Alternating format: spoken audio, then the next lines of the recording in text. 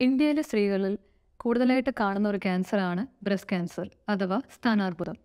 Breast cancer വരാനുള്ള പല risk factors ഉണ്ട്.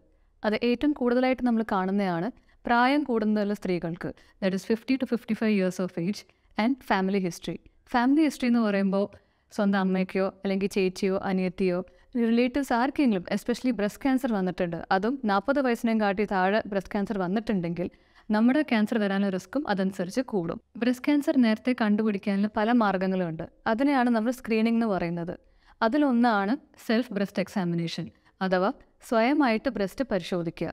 സ്വയമായിട്ട് ബ്രസ്റ്റ് പരിശോധിക്കുമ്പോൾ നമ്മൾ അബ്നോർമലായിട്ട് എന്തെങ്കിലും ഒരു മുഴയോ തടുപ്പോ അല്ലെങ്കിൽ നിപ്പിൽ നിന്ന് എന്തെങ്കിലും ഡിസ്ചാർജ് കാണുകയാണ് രക്തത്തിന്റെ കളറിൽ ഡിസ്ചാർജ് കാണുകയാണ് സ്കിൻ ബ്രസ്റ്റിന്റെ സ്കിന്നിന് കളർ വ്യത്യാസം കാണുമോ അല്ലെങ്കിൽ കക്ഷത്തിൽ മുഴ കാണുമോ നമ്മുടെ അടുത്തുള്ള ഡോക്ടറിനെ എത്രയും പെട്ടെന്ന് നമ്മൾ ബന്ധപ്പെടുക. പിന്നെ നമ്മൾ ചെയ്യുന്ന ഒരു സ്ക്രീനിങ് മെത്തേഡാണ് മാമോഗ്രാം ദറ്റ് ഇസ് സ്ഥാനങ്ങളുടെ എക്സ്റേക്കാണ് നമ്മൾ മാമോഗ്രാം എന്ന് പറയുന്നത്.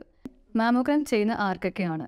ഞാൻ നേരത്തെ പറഞ്ഞ പോലെ സ്വയമായിട്ട് ബ്രസ്റ്റ് പരിശോധിക്കുമ്പോൾ നമ്മൾ എന്തെങ്കിലും അബ്നോർമലായിട്ട് മുഴയോ തടുപ്പോ അങ്ങനെ എന്തെങ്കിലും കാണുകയാണെങ്കിൽ രണ്ട് ഫാമിലി ഹിസ്റ്ററി എന്തെങ്കിലും ഉണ്ടെങ്കിൽ നമ്മൾ ചെറിയ പ്രായത്തിൽ അതായത് ട്വന്റി ടു ട്വന്റി ഫൈവ് ഇയേഴ്സിൽ തന്നെ നമ്മൾ പൊതുവേ വർഷം വർഷം നമ്മൾ ഒരു മാമോഗ്രാം ചെയ്തിരിക്കുന്നത് നല്ലതാണ്.